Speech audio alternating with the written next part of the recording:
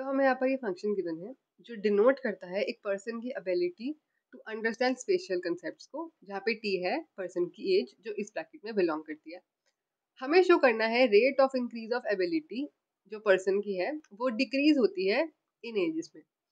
यानी कि हमें शो करना है, ये जो हमें ए गिवन है, इसकी रेट ऑफ़ इंक्रीज यानी d A by d t हमें इसे शो करना है कि ये डिक्रीज होता है। तो डिक्रीज शो करने के लिए हम क्या करते हैं? अगर हम इसको लेट से रेट को आर लेट कर ले तो डिक्रीज के लिए हम इसके डेरिवेटिव को लेस देन ज़ीरो शो कर देंगे in this bracket in five to eighteen तो करते हैं इसे। तो इसे लिख लेते हैं। पहले हम निकालेंगे d A by d t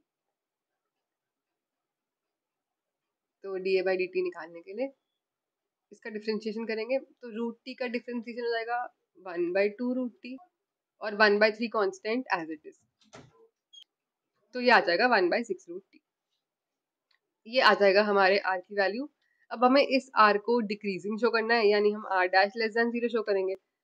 In this five to eighteen bracket okay तो हम इसका डेरिवेटिव लेते हैं फिर से। तो हम निकालेंगे D R by D T तो one by six root T का derivative one by six one by root T तो इसे लिख सकते हैं टी की बार माइनस हाफ़ तो ये आ जाएगा माइनस हाफ़ आगे।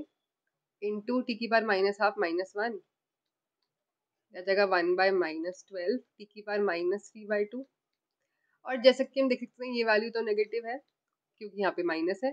तो ये फाइव टू एटीन में भी नेगेटिव ही रहेगी।